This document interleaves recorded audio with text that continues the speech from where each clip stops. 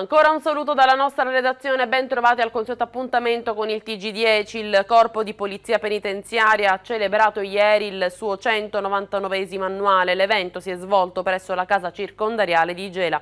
C'eravamo anche noi, vediamo. È stato celebrato ieri il 199 annuale del Corpo della Polizia Penitenziaria presso la casa circondariale di Contrada Balate a Gela. Una cerimonia sobria ed elegante che ha registrato la presenza delle massime autorità locali, civili e militari. 199 anni di storia, di, di valori, di orgoglio, di onore, di servizio al servizio della nazione. Ed è straordinario straordinario perché gli uomini continuano ad avere passione, continuano ad avere motivazione, continuano a trasformarsi perché seguono l'evoluzione che la società italiana nel corso del tempo ha avuto fino ad oggi.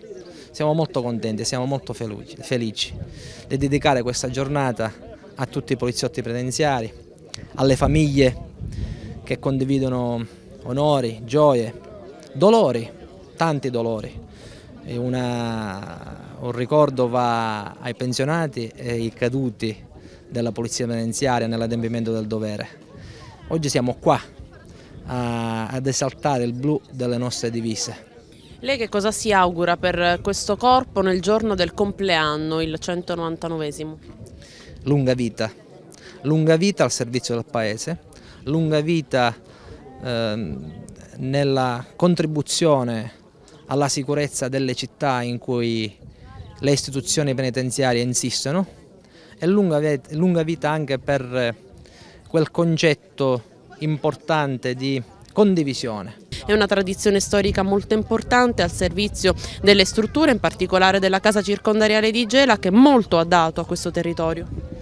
Molto ha dato e molto conta di dare, è un prezioso contributo, in realtà tutto si dà e molto si riceve, la partecipazione anche alla festa è significativa, ci sentiamo parte come grande condominio della città, vorremmo essere anche un condominio produttivo. Sindaco, la casa circondariale di Gela, ormai attiva da diversi anni, una struttura di cui eh, la città aveva veramente molto bisogno, i risultati sono arrivati, sono eh, davvero straordinari, questa è, delle, è, stata considerata una delle strutture più virtuose d'Italia. Avere questa struttura nel nostro territorio dove fra le altre cose ospita persone anche del, del, territorio, consente di poter avere una maggiore vicinanza agli affetti mentre eh, le persone scontano la pena nei confronti della collettività. Quindi è una struttura importante, una struttura di rieducazione importante, una struttura che devo dire si è fatta valere e sono sicuro che si continuerà a fare valere a livello sia regionale ma anche a livello nazionale. Nel corso della cerimonia di ieri sono stati conferiti quattro apprezzamenti ad altrettanti agenti di polizia penitenziaria che si sono distinti per la loro condotta esemplare anche liberi dal servizio. Quattro note di compiacimento che esprimono il riconoscimento dello Stato per uomini che rappresentano un chiaro esempio del dovere così come riportato nelle motivazioni del conferimento. Sentiamo. Vengono assegnati quattro apprezzamenti, eh, viene tenuto in considerazione eh, la condotta eh, e l'amore che avete per, eh, per il lavoro e l'attaccamento alla divisa. A chi dedica questo riconoscimento e un commento, una battuta su quella che è stata la sua vita in divisa. Dedico questo diciamo, riconoscimento a mio padre che mi ha trasmesso tanti valori che adesso non c'è più. E quei valori che ho trovato nel corpo di polizia penitenziaria, senso della giustizia, del trattamento, della sicurezza.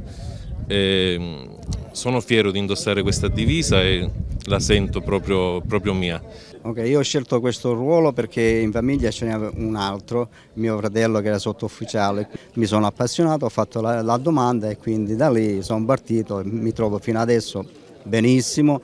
Qui, eh, prima di essere qui sono stato a Catania Piazza Lanza. Io dedico questa premiazione alla mia famiglia e ai miei cari che non ci sono più, a mio padre e a mio suocero. Ho scelto di lavorare nel corpo della polizia penitenziaria perché ho sempre creduto alla divisa e ho sempre creduto al ruolo della polizia, dei carabinieri, di tutti i corpi di polizia dello Stato. Ho lavorato immensamente, mi piace indossare questa divisa, mi trovo a Gela dopo quasi 28 anni di servizio. Io lo dedico a me stesso. Dopo tanti anni di servizio un giusto riconoscimento con l'impegno che si è avuto durante tutti questi anni. Siamo alla cronaca. La scorsa notte, intorno alle 4, ignoti hanno appiccato il fuoco alla Fiat 500 di una donna di 40 anni. Il rogo si è verificato in via Emilio eh, Artigiani, nel rione Albani Roccella. Sul posto, polizia e vigili del fuoco. Appena due giorni fa era stata data alle fiamme una Fiat Panda in via Ravenna, nel rione Macchitella. Si è svolta ieri a Catania la cerimonia di insediamento del sindaco metropolitano Enzo Bianco. Erano presenti 57 sindaci della città metropolitana di Catania, il presidente della regione siciliana Rosario Crocetta, il presidente dell'Ars Giovanni Ardizzone, deputati Antonio Malafarina e Mario Falcone. Tra gli astanti anche il sindaco di Piazza Armerina Filippo Miroddi, l'assessore Francesco Salinitro e rappresentanza dell'amministrazione comunale di Gela e rappresentanti del Comitato per lo sviluppo dell'area gelese pro referendum referendum, Piazza Armerina, liberi consorsi Niscemi e consulta di Niscemi. Insieme faremo una grande squadra, ha dichiarato Enzo Bianco dopo la firma dell'insediamento. Siamo contenti che il primo atto della città metropolitana, cioè l'insediamento del sindaco metropolitano, sia stato fatto invitando i promotori ufficiali e le istituzioni di Gela, Piazza Armerina e Niscemi, ha dichiarato il portavoce del Comitato per lo sviluppo dell'area gelese Filippo Franzone. Un riconoscimento importante che invita alla coesione e alla partecipazione dei programmi e dei progetti della città metropolitana di Catania. Adesso la Regione faccia in fretta a riconoscere l'ingresso nell'area metropolitana di Catania ai comuni che, hanno, eh, che vi hanno aderito perché più tempo passa più elevato diventa il danno economico che si arreca a queste tenaci e coraggiose cittadine in termini di mancata progettazione, mancati investimenti, mancato rispetto delle scelte popolari. La giunta municipale ha firmato il contratto decentrato integrativo del personale dipendente relativo agli anni 2014 e 2015. Con la firma di questi due importanti atti, ha detto il sindaco Domenico Messinese, si chiude una lunga concertazione interna che consente di dare risposte ai dipendenti comunali che si sono visti negare dei diritti per tanti anni. L'intesa prevede le progressioni orizzontali per i dipendenti e il pagamento delle indennità accessorie. L'accordo con la delegazione trattante la conferma di un percorso di smaterializzazione iniziato da qualche mese che inizia a dare i primi frutti. L'organizzazione dell'amministrazione passa anche da giusti rapporti, ha concluso il sindaco di Gela Domenico Messinese chiede chiarimenti al segretario generale del comune di Gela e al comandante della polizia municipale, il consigliere comunale Carmelo Casano, in merito ad alcune vicende legate alla sosta a pagamento, meglio note come strisce blu. Con una nota Casano chiede che, così come leggiamo nel documento, vengano ripristinati tutti gli stalli delle strisce blu previste dal contratto in essere, considerato che attualmente l'amministrazione comunale si trova in fase di proroga e quindi non può, secondo il consigliere comunale, procedere alla variazione delle prestazioni. Presentati ieri a Gela i nuovi progetti Eni, il punto della situazione lo ascoltiamo in questo servizio firmato dal nostro Franco Gallo, vediamo. Era il novembre 2014 quando a Roma, presso la sede del Mise, il Ministero per lo Sviluppo Economico, si firmava il protocollo di intesa che sanciva la fine della raffinazione del petrolio a Gela. Al suo posto veniva annunciata la riconversione dello stabilimento di Piana del Signore che avrebbe dovuto modificare senza far perdere nessun posto di lavoro, almeno così avevano detto i nostri rappresentanti politici che avevano apposto la loro firma su quel documento dalla portata sicuramente storica, la produttività del sito industriale gelese. Niente più petrolio da lavorare, niente più raffinazione e niente più devastazione del territorio con il pesante inquinamento portato da quella petrolchimica. Ma da quel lontano 6 novembre 2014 di tempo ne è passato e dalla devastazione del territorio con la fabbrica del cane a sei zampe in marcia si è passati alla devastazione economico-sociale di un'intera comunità. La chiusura dello stabilimento infatti ha portato in questi lunghissimi 18 mesi allo sconvolgimento del tessuto economico-finanziario della della città. Licenziamenti, disoccupazione drammi sociali sono stati all'ordine del giorno. L'ultimo dei quali riguarda l'operaio della SMIM Matteo Guerrei che per disperazione, visto che non percepisce la cassa integrazione da oltre otto mesi, si è asserragliato in cima ad un pontone della sua ex ditta. Ieri finalmente dalle parole si è cominciati a passare ai fatti. La Green Refinery non è più nel libro dei sogni. I vertici nazionali di Eni sono venuti a Gela a dire che è stato assegnato l'appalto alla ditta americana Forster e Wheeler per la costruzione dell'impianto di bioraffineria Green. Ci vorranno altri 12-18 mesi per poterlo vedere in funzione ma intanto è stato definito che a lavorare sul cantiere che costruirà il più grande impianto di green raffinery d'Europa saranno soltanto maestranze locali. Una boccata d'ossigeno per la sfittica economia gelese. E poi la conferma che Eni non ha alcuna intenzione di abbandonare il sito di Gela e che il colosso energetico italiano vuole invece puntare decisamente sul polo industriale di Gela. Una speranza in un mare magnum di problemi che potrebbe diventare il volano di un nuovo sviluppo, magari stavolta meno ancorato alla sola presenza di Eni di questo martoriato territorio. E a spiegare i dettagli del nuovo rilancio industriale di Eni sul territorio gelese sono stati Salvatore Sardo, responsabile refining e marketing del cane a sei zampe, e Luigi Ciarrocchi, a capo del programma Eni di Gela. Eh, li sentiamo ai microfoni di Franco Gallo. Nell'agosto del 2014 Matteo Renzi venne a Gela per dire che nell'arco di pochi mesi in Italia dovevano chiudere cinque raffinerie e Gela faceva parte di questo lotto. In realtà dopo due anni e mezzo ha chiuso solo Gela. Come mai? No, io questo non lo so e non riesco a commentarlo, quello che, che, che diciamo le affermazioni del nostro Premier. Eh, oggi Gela non ha chiuso, oggi Gela rilancia, Dire, come abbiamo visto che una, una, una, raffineria che perde eh, ogni anno importanti, importanti diciamo, soldi, oggi in realtà si è trovato il modo di poter rilanciare questa attività. Quindi non la guardiamo come qualcosa di, di chiusura, guardiamolo verso un futuro, un futuro che è sempre più green, un futuro che non ha solo la raffineria, ma anche altri progetti molto importanti per il territorio. Il 6 novembre del 2014 a Roma lei c'era quando si firmò quel protocollo? Non c'ero. Vabbè, però conosci i termini di questo protocollo in maniera ne pedissequa, ho, no? Ho copie in tutte le stanze della mia casa. Ecco, quello che le voglio chiedere però non è se lo conosce bene o no il protocollo, è che allora i nostri rappresentanti locali, politici, che firmarono quell'accordo, ci dissero in pompa magna che non si sarebbe perso un solo posto di lavoro. Siamo nel giugno del 2016 e qui c'è gente che si arrampica sui tralicci perché non ha più il lavoro, quel lavoro. Beh, io non voglio commentare, eh, entrare nell'ambito delle, delle, situazioni che sono legate ai, all'editto agli appaltatori. Eh, noi qui abbiamo, come dicevo in precedenza, rispettato gli impegni che erano scritti su quel protocollo. Il protocollo indicava 900 risorse dell'indotto che avrebbero dovuto lavorare nel 2015 e ne hanno lavorate 1062. È chiaro che eh, se noi guardiamo a 20 anni fa l'indotto aveva una dimensione diversa, guardiamo, ribadisco, al presente e al futuro. In questi momenti, come sostegno di, diciamo, per quelle risorse che eh, non riescono oggi a trovare un'occupazione ci sono degli ammortizzatori sociali, dei, dei, sostegni, dei sostegni al reddito. È chiaro, ribadisco, che qui comunque non dimentichiamo che stanno lavorando 1250 persone. Nella ottica strategica mondiale di Eni, Gela cosa rappresenta? È un punto molto importante, un baricentro di attività, eh, avete visto, non, non, abbiamo parlato soltanto di attività industriali ma abbiamo parlato anche di attività di formazione, abbiamo parlato di attività di tattiche, abbiamo progetti di importanti di ricerca e collaborazione con l'università per cui noi crediamo in Gera. Noi siamo convinti che questo percorso potrà portare addirittura più lavoro a Gela, perché non sarà più dire, un lavoro magari focalizzato solo su un'industria un o solo su una tipologia di attività, ma domani avremo un territorio eh, diverso con più aziende e poi fatemi dire, no? con aziende più moderne che rispondono di più a quelle che sono le esigenze cioè, del mondo contemporaneo. Cioè oggi avere una green refinery è ben diverso rispetto ad avere una raffineria tradizionale anche in termini di prospettiva. Ci saranno ancora altri 18 mesi, cioè da quando entrerà in, eh, in avvio la Green Refinery, che bisognerà tirare la cinghia e stringere i denti? Ma io direi proprio di no, perché già oggi ci sono centinaia di lavoratori delle imprese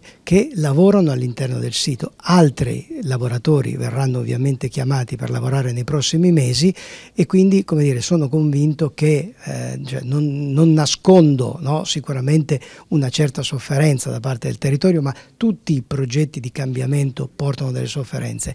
Però noi stiamo, cercando di gestire queste, eh, questa trasformazione cercando di salvaguardare al massimo proprio le maestranze e proprio dire, tutte le attività imprenditoriali che a Gela ci sono, alcune delle quali di grandissimo valore. Conferenza stampa Eni, quasi tutto chiaro, tranne che per le bonifiche, per capire occorrerebbe una nuova conferenza stampa. Quali organismi controllano lo stato eh, delle cose? Il sindaco di Gela e i sindaci dei paesi vicini sono stati interpellati? Tutto a posto? Sono le dichiarazioni affidate alla stampa con una nota da parte di Carlo Romano dei Coraggiosi di Gela. Il PD cittadino che pensa, che pensa in merito escluso chi comunque d'accordo a priori, eh, le segreterie provinciali e regionali del PD impegnate con i banchetti potrebbero chiarire alla cittadinanza qual è il progetto Eni, di Eni per il territorio, leggiamo ancora nel documento, quando le segreterie dei partiti si autoescludono da queste dinamiche attestano la loro assoluta inutilità politica nelle scelte che dovrebbero invece determinare il rilancio occupazionale ridando dignità al nostro territorio. Silenzio assordante, conclude la nota a firma di Carlo Romano. Approfondimenti, interviste di quanto stabilito ieri nel corso dell'incontro della presentazione della nuova Green Refinery di Gela saranno al centro della puntata della trasmissione Agorà condotta da Franco Gallo che andrà in onda domani alle ore 21. Ci fermiamo, c'è la pubblicità, torniamo tra poco, restate con noi. Bentornati in studio per la seconda parte del nostro telegiornale. Si svolgerà sabato 11 giugno presso la parrocchia di San Sebastiano Martire di Gela il giubileo degli ammalati, dei disabili e delle associazioni di volontariato presenti nel territorio diocesano. Per l'occasione sarà esposta l'originale immagine della graziosa Vergine degli Ammalati che ha dato inizio alla devozione della Madonna delle Grazie venerata nella chiesa dei Cappuccini di Gela.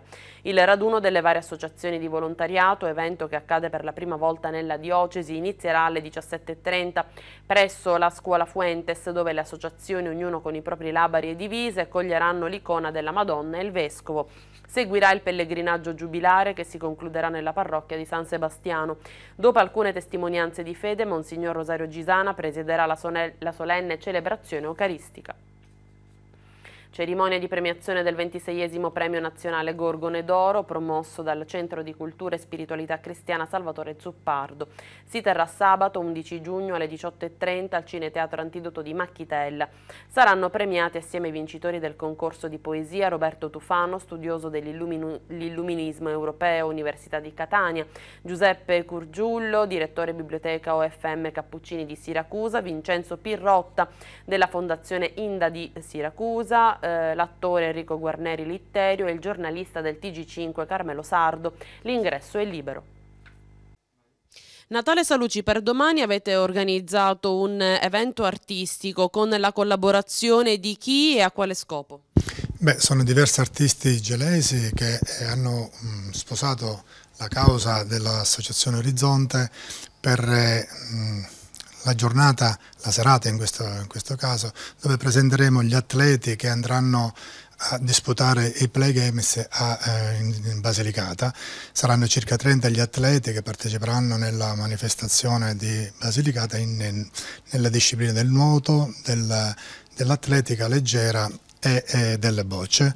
E in quell'occasione eh, siamo mm, diciamo, contenti di un'intesa collaborazione con eh, Club La Vela che eh, hanno messo a disposizione le loro strutture per continuare anche gli allenamenti in estate anche perché a luglio abbiamo una manifestazione nazionale del tennis a tavolo e quindi ci alleneremo, diciamo, alleneremo i ragazzi in, in, nella loro struttura.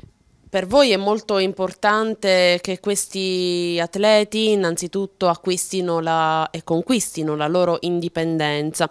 Eh, avete nuovi atleti, nuovi ragazzi che partiranno da soli per la prima volta? Sì, questo è un programma graduale che noi applichiamo con i nostri atleti e, e, sono diversi gli atleti non solo di, di, Gela ma anche abbiamo alcuni atleti di Vittoria che partono con noi senza i genitori. I genitori quando vogliono partire vengono come diciamo, spettatori, eh, i, i, ragazzi vengono gestiti interamente dall'associazione proprio per rompere quegli schemi, quel cordone ombelicale che purtroppo anche da adulti si tende a mantenere soprattutto da parte dei genitori che dai figli. In bocca al lupo per le nuove avventure sportive e soprattutto per quest'estate. Grazie, eh, speriamo che anche eh, la sensibilità per cui tra l'altro noi stiamo facendo questa, eh, questa manifestazione oltre che per eh, presentare, far conoscere, interagire con la, la, nostra realtà, anche una raccolta fondi per acquisti, acquistare un defibrillatore importante soprattutto per i nostri atleti che eh, sperando che mai eh, ci fosse necessità di un intervento di qualche genere. Argento per l'atleta gelese Kimberly Scudera dell'Arco Club Ayas Gela al campo Filippo Raciti dell'Arcieri Padovani per il ventinovesimo campionato italiano targa para arcieri che anticipa l'appuntamento clou del quadriennio dei giochi paralimpici di Rio de Janeiro che vedranno nove italiani qualificati impegnati al Sambodromo di Rio dal 9 al 16 settembre. Kimberly Scudera conquista il secondo gradino del podio e porta a casa la soddisfazione di aver battuto in semifinale per 6 a 4 la vice campionessa paralimpica Elisabetta Migino, Fiamme Azzurre. Kimberly ottiene anche la medaglia d'argento nella categoria juniores femminile. Quindicesima posizione invece per Isidoro Scolaro nella categoria senior maschile, eliminato purtroppo agli ottavi per gli individuali. Soddisfazione è stata espressa dal tecnico Salvatore Mussoni, penso che i nostri atleti abbiano dato il massimo conquistando ben due finali per loro, mancando di un soffio, ma sapevamo già, come anticipato alla vigilia, che gli avversari non avrebbero regalato nulla, in particolar modo nell'anno paralimpico. Tra tutti questi impegni sportivi l'arciera gelese cercherà di centrare adesso l'altro grande ambito obiettivo, il diploma di maturità. È previsto per domani alle 20.30 al Pala Cossiga di Gela il saggio spettacolo promosso dalla Gymnastics Club diretta da Walter Micciche. Lo spettacolo inizierà con una coreografia dedicata all'amore delle mamme verso i figli e terminerà con una coreografia sulla caduta del muro di Berlino. Il messaggio di quest'anno dedicato ai ginnasti è trovarsi insieme un inizio, restare insieme un progresso, lavorare insieme un successo. Tornano da questa sera le attività ricreative all'interno della corte del Teatro Eschilo di Gela. Sentiamo. Tornano questa sera alle 21.30 le attività presso l'Eschilo Lab. Teatro, musica, cinema, arte, mostre, sport, incontri letterari e cooking show attendono il pubblico nella corte del Teatro di Gela di Piazza Salandra con ingresso gratuito. C'è un aspetto interessante che non è avvenuto negli altri anni ed è quello di dare valore e visibilità agli artisti locali eh, che ne abbiamo tantissimi e di, e di, alto livello. Devono solo esibirsi, farsi conoscere e inizierà questo tipo di approccio che veramente mi piace moltissimo che l'abbiano pensato.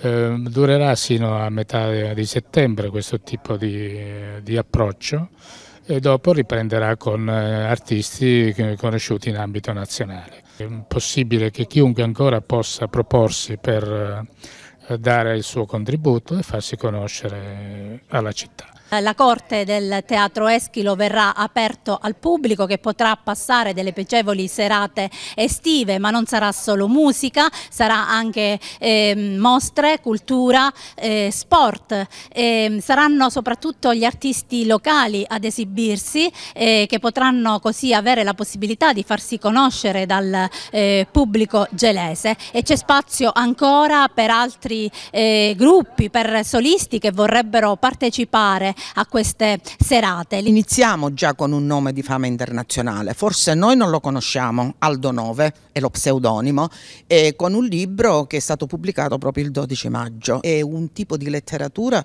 che forse noi non conosciamo, a cui non siamo abituati, ma è un libro eh, che veramente eh, fa molto riflettere. A presentarlo sarà eh, Viviana Altamore e ci saranno letture eh, da parte di Maria Carla Aldisio. Si proseguirà il 17 con Camicette bianche di Esther Rizzo, un altro tema molto importante, il tema dell'emigrazione eh, italiana in America e poi il, il mese di giugno ancora avremo il 24 Enzo Russo, il grande scrittore Enzo Russo con Incomprensibile Sicilia. E infine chiuderemo non venerdì ma giovedì per motivi tecnici con eh, la presentazione del libro di due nostri ragazzi, per me sono ragazzi, e Lorena Scimè e Andrea Cassisi, a cui auguro di diventare famosi magari quasi come Camilleri, ma il nome di Camilleri già ha fatto sì che questo libro sia alla ribalta nazionale. Spero soprattutto che questa possibilità sia colta dai ragazzi, dai giovani. Non si dica poi qui a Gela non c'è niente, eh, perché questi incontri letterari sono quelli che avvengono in tutte le città d'Italia e nel mondo, che ne approfittino. La famosa tragedia di Eschilo 7 contro Tebe, rivisitata in chiave moderna, sarà in scena al Teatro Eschilo di Gela domenica 12 giugno prossimo alle 19. Saranno i corsisti della scuola di formazione dello stesso teatro a rappresentarla, diretti dal regista Francesco Longo che ha curato con genialità, particolarità e impegno questo saggio finale. La scuola sperimentale avviata a ottobre ha visto la partecipazione di 14 corsisti che hanno potuto assistere alle lezioni di teoria e pratica avvalendosi della bravura di illustri nomi come Tuccio Musumeci, Romano Bernardi, Guia Ielo, Emanuela Muni e ancora del produttore teatrale Orazio Turrisi e l'attrice Maria Carla Aldisio che ha curato la dizione. Teatro sotto le stelle all'antidoto di Gela, tutti gli spettacoli si terranno all'aperto. Si comincerà venerdì 24 giugno alle 21.30 con attenti a quei due della compagnia Antidoto. La rassegna si concluderà a settembre, l'ingresso è di 5 euro a coppia, prevista anche l'esibizione di Giobbe Covatta. Bene, è tutto per questa edizione del nostro telegiornale, grazie per averci seguito fin qui, vi ricordiamo che notizie, servizi e approfondimenti sono disponibili sul nostro portale all'indirizzo web www.tg10 10.it. Vi ricordiamo inoltre che Canale 10 è dotato anche di un altro strumento molto importante che è il televideo costantemente aggiornato. Grazie per averci seguito fin qui, arrivederci.